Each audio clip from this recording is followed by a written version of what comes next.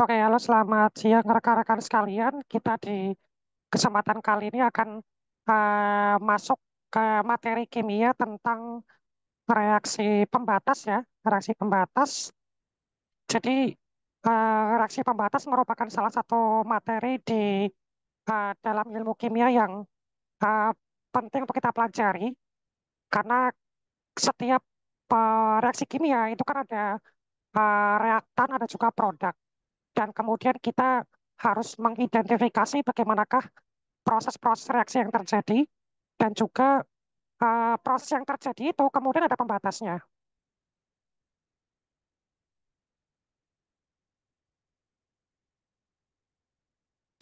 Oke, jadi uh, di dalam pertemuan ini kemampuan yang diharapkan mahasiswa mampu mengidentifikasi dan mendefinisikan tentang konsep reaksi pembatas dalam reaksi kimia. Nah, kita coba pelajari dulu tentang apa itu reaksi pembatas ya. Jadi kalau misal kita uh, memiliki reaksi kimia, itu kan ada uh, reaktan, ada juga produk ya. Jadi reaktan dan juga produk itu selalu hadir dalam proporsi yang seimbang. Dan juga si reaktan akan selalu habis membentuk suatu produk. Kenapa? Karena di skala industri, kita itu dituntut untuk menghasilkan produk yang sebesar mungkin. Maka supaya bisa menghasilkan produk yang sebesar mungkin, maka reaktan yang harus kita masukkan sebagai input itu juga harus semakin besar. Jadi kalau misal reaktannya semakin besar, maka produk yang dihasilkan juga semakin besar. Maka konsekuensinya, ada reaktan yang habis terlebih dahulu yang akan menentukan jumlah produk yang terbentuk. Nah, reaktan yang habis terlebih dahulu itu yang kemudian kita sebut dengan reaksi pembatas. Nah, selain reaksi pembatas, kita juga punya reaksi sisa. Jadi kalau reaksi sisa itu reaktan yang bersisa setelah reaksi kimia selesai. Dan reaksi sisa dia punya jumlah yang lebih besar daripada jumlah reaksi pembatas. Contoh misalkan kalau kita di industri punya punya suatu reaksi kimia seperti ini. Kita misalkan punya reaksi industri metanol. Metanol atau CH3OH. Nah, metanol CH3OH itu dibentuk dari suatu reaksi kimia antara karbon monoksida dalam wujud gas, ya, CO dalam wujud gas, kemudian hidrogen dalam wujud gas juga. Hasilnya karbon monoksida sama hidrogen dalam wujud gas itu menghasilkan metanol atau CH3OH juga dalam wujud gas. Semisal kita punya 4 mol karbon monoksida. Jadi karbon monoksida itu dia punya jumlah mol sebanyak 4, 4 mol. Kemudian hidrogen punya jumlah mol sebanyak 6. Maka kita bisa menentukan berapa jumlah mol dari metanol yang terbentuk. Jadi caranya, kan kita asumsikan bahwa jumlah metanol itu satu ya. Karena kan seimbang ya antara antara jumlah mol dari reaktan sama produk.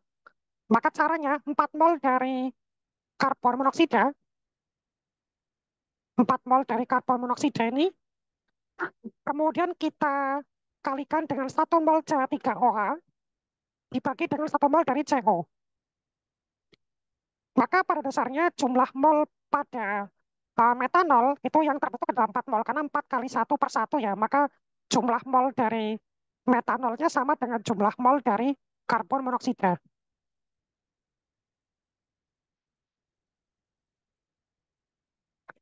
Nah, konsep dasar dari reaksi pembatas itu adalah misal gini, semisal di sebuah klub dansa ya kita punya uh, penari pria dan wanita. Semisal kita punya 14 pria dan juga kita punya 9 wanita, maka jumlah pasangan antara pria dan wanita yang mungkin terbentuk itu hanya ada 9 pasangan pria dan wanita. Nah, di 14 pria dan 9 wanita ini, maka pasangan yang terbentuk itu adalah hanya 9 pasangan saja. Maka lima pria itu dia tidak akan memperoleh partner sebagai sisa. Nah, jumlah wanita, karena jumlah wanita kan cuma sembilan, maka dia hanya uh, sembilan wanita berfungsi sebagai pembatas. Jadi sembilan wanita yang uh, membatasi pria itu jadi pembatasnya ada sembilan wanita itu membatasi jumlah pria yang berdansa sebanyak 14. Maka sisanya cuma lima pria. Itu konsep dasar dari reaksi pembatas.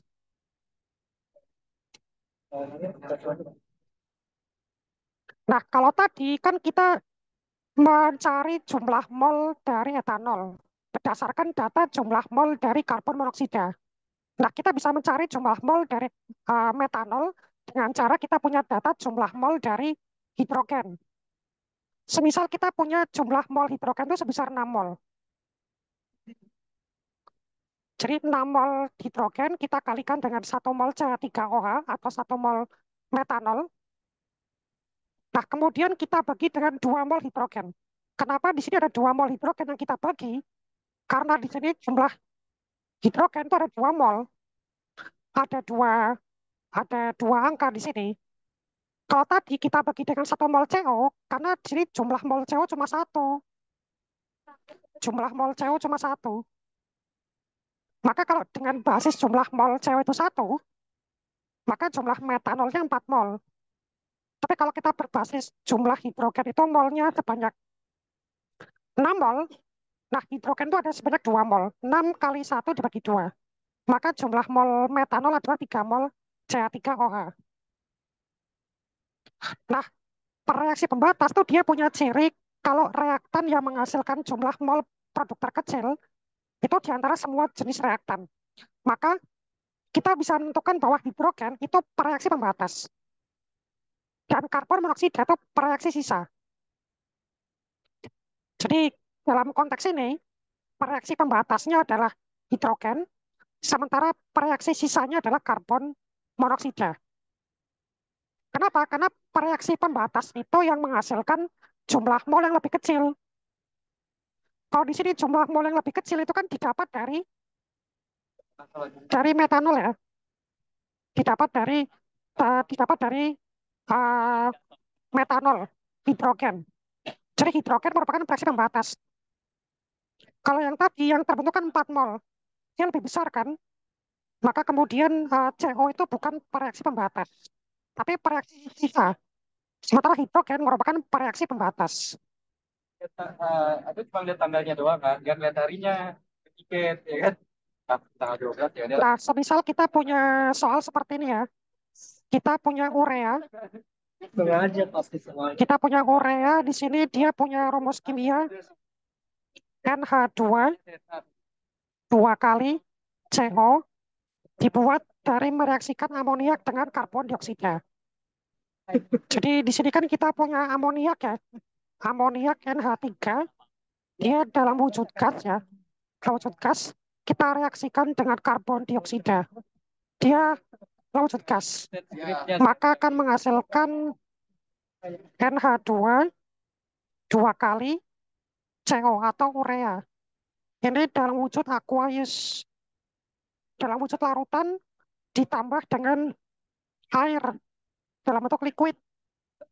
Kalau kita coba reaksikan ya, kalau kita coba setarakan persamaan kan di sini CO2, O2, O2, oke, berarti 2 NH3. Kemudian jumlah amoniak yang direaksikan itu 637,2 gram. Kita reaksikan dengan 142 gram karbon dioksida. Nah, tentukan mana reaksi pembatas. Di sini MR NH3 massa molekul relatif itu 17,03 gram per mol. Kemudian massa molekul relatif dari karbon dioksida itu 44 0,01 gram per mol. Oke, coba kita tentukan manakah yang bereaksi pembatas ya.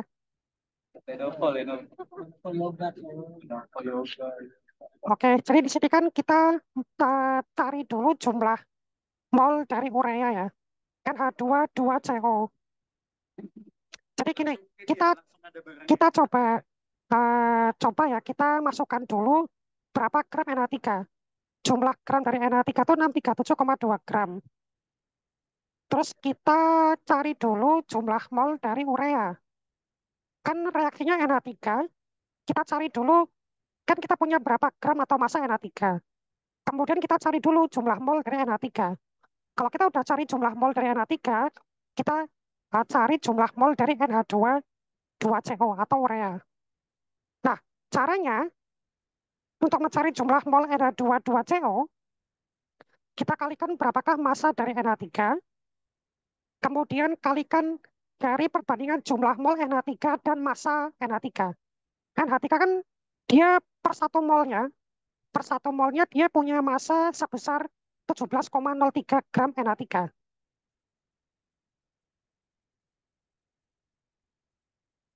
Nah, kita masukkan itu ya, dikalikan satu mol urea per 2 mol NH3.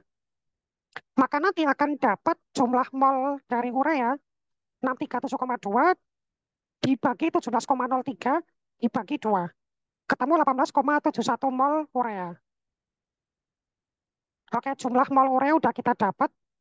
Terus kalau sudah kita eh, kan kita punya massa CO2 ya, massa CO2 sebesar 1142 gram.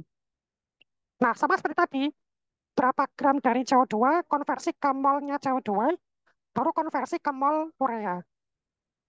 Nah, jadi kita cari jumlah mol urea. Nah, caranya kayak tadi, berarti kita masukkan jumlah massa dari CO2, kalikan perbandingan jumlah 1 mol CO2 per 44,01 gram CO2. Oke, kan kita punya 44,01 gram ya.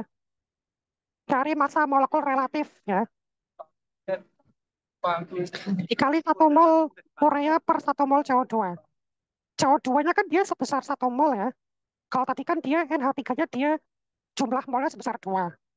Nah, 142 dibagi 44,01 dapat 25,92 mol dari urea. Oke, kita udah punya jumlah mol dari urea berdasarkan jumlah mol dari NH3 sama NH2 2CO. Maka kalau kita lihat yang lebih besar angkanya itu kan yang jumlah mol urea berdasarkan karbon dioksida. Maka kita cari yang lebih kecil. Kan yang lebih kecil kan yang ini ya, 18,71. Maka karena 18,71 dia lebih kecil, maka NH, apa, NH3 itu reaksi pembatas. Enggak, justru dia harus menyesuaikan dengan perilakunya dia. Jadi limiting region-nya adalah NH3. Karena dia dari perhitungannya menghasilkan jumlah mol yang lebih kecil dibandingkan perhitungan berdasarkan karbon dioksida. Jadi sih enggak, tapi apa? Nah, itu tadi konsep reaksi pembatas ya. Sekarang kita ke konsep molaritas. Jadi kalau misal kita pelajari ya, molaritas itu ketika kita gunakan di dalam sebuah stoikiometri, kita bisa mengetahui suatu molaritas berdasarkan jumlah reaktan yang hadir dalam suatu reaksi kimia. Nah, konsep molaritas itu berkaitan dengan konsentrasi suatu larutan. Jadi dia didefinisikan sebagai jumlah zat yang terlarut dalam suatu pelarut. Nah, dalam suatu ilmu kimia, zat yang terlarut itu bisa cair, bisa juga padat. Nah, sementara pelarut itu pasti dia bersifat cair. Jadi kalau pelarut dia berfasa cair, kalau zat yang terlarut dia berfasa cair atau padat. Nah, konsentrasi suatu larutan ini yang kemudian kita nyatakan dalam sebuah molaritas atau yang disimbolkan M besar atau disebut dengan konsentrasi molar. Jadi konsentrasi molar itu merupakan uh, jumlah mol dari zat yang terlarut di setiap satu liter larutan. Makanya kita uh, mencari molaritas dengan cara membagi uh, jumlah mol dari suatu uh, zat ya. Jadi solutnya sesuatu yang uh, yang terlarut ya ini yang terlarut solut itu. Dibagi dengan volume ya liters jadi ini volume volume dari solution atau larutan. Jumlah mol zat yang terlarut dibagi dengan volume larutan. Itu akan jadi molaritas atau konsep molar secara notasi dirumuskan begini M sama dengan N atau jumlah zat yang terlarut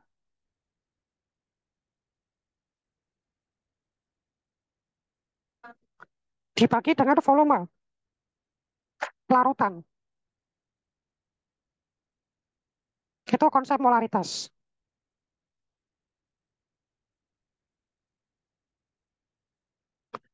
Contoh kita punya larutan glukosa C6H12O6 sebesar 1,46 molar.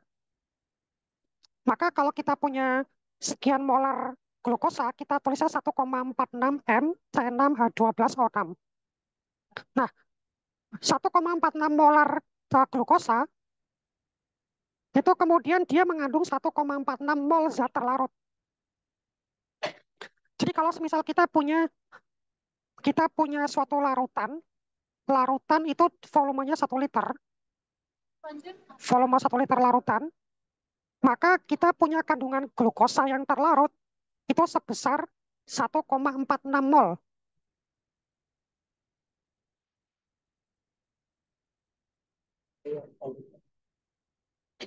Contoh kita misalkan pengen ngitung berapakah molaritas dari 0,73 mol glukosa. Berarti 0,73 M C6 H12O6. Nah, volumenya itu 500 liter. Tadi kan molaritas itu kan adalah jumlah zat yang terlarut ya, dibagi dengan volume. Nah, kita caranya untuk bisa kita dapatkan berapa jumlah mol, kan dia kan uh, istilahnya kan satu liter ya per satu liter ya, jadi kan dia cuma 500 mililiter. Berarti kalau 500 mililiter itu kan sama seperti setengah liter ya, sampai ke setengah liter. Nah kita kita punya 0,73 mol, maka 0,73 mol dibagi dengan 500 mililiter dikali 1000 per 1 liter. Atau ini kan sebenarnya sama aja 0,73 mol ya. C6 ke 12O6 kan 1000 bagi 500 itu kan uh, sama dengan 2 ya, sama dengan 2 per 1. Jadi kan per, per 500 mililiter, berarti kan kalau misal per 1 liter, berarti kan dikali 2 ya. Ini kan per 500 mililiter. Sementara molaritas kan per 1 liter, maka dikalikan 2. Dikalikan 2. Maka dapat 1,46 molar glukosa.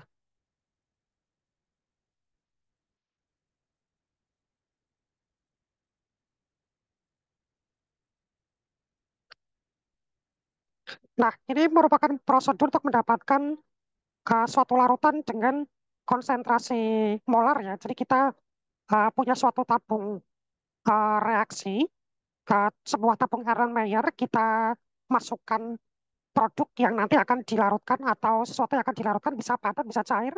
Kemudian kita masukkan pelarut. Ke pelarutnya kita masukkan sampai ke batas meniskus. Jadi kenapa kita masukkan ke batas meniskus? Karena itu sebagai penanda, penanda tentang berapakah volume yang yang akan dihitungkan volumenya itu kan satu liter ya kalau kita menghitung molaritas. Jadi zatnya kita masukkan ke dalam si tabung ya. Jadi zat yang terlarut kita masukkan dalam tabung, bisa padat, bisa cair. Jadi misalkan dalam contohnya adalah padat. Lalu kemudian perlahan-lahan air kita masukkan lewat corong dengan volume tertentu. Jangan lupa catat berapa gram padatan tersebut dan senyawanya.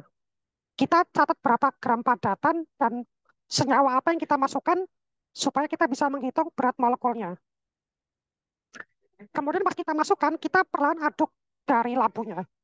Kita goyang labunya sampai kemudian terbentuk suatu larutan homogen. Maka makin lama si padatan tadi itu akan terlarut dengan sempurna.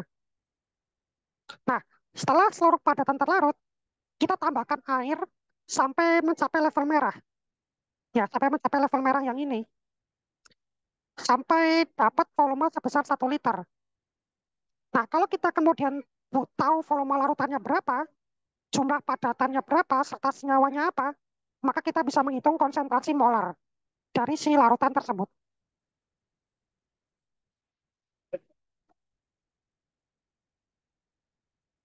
Contoh kita punya soal seperti ini ya. Di dalam sebuah pengukuran, kita membutuhkan 3,81 gram glukosa. Jadi masa dari zat ya, masa dari zat glukosa, berarti C6 12O6, dia punya jumlah massa 3,81 gram untuk direaksikan. Berarti ini kan merupakan uh, solid ya. Ini solid. Misal hitung, kita mau menghitung berapakah volume larutan glukosa yang terbentuk. Kalau misal larutan itu punya konsentrasi molar sebesar 2,53 molar. Maka pertama kita harus tentukan dulu jumlah mol yang berisi 3,81 gram glukosa tadi. Jadi kita mencari dulu berapakah jumlah mol dari glukosa. Jadi jumlah mol glukosa di mana masanya itu 3,81 gram glukosa.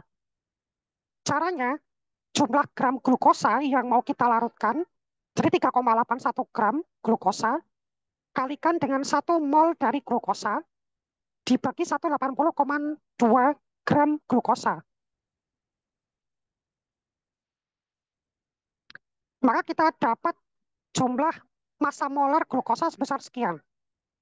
Ini merupakan massa molarnya.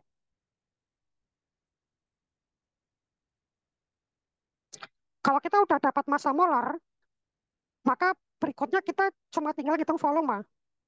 Jadi kan ini massa molar atau uh, apa namanya jumlah menunjukkan jumlah gram yang terlarut.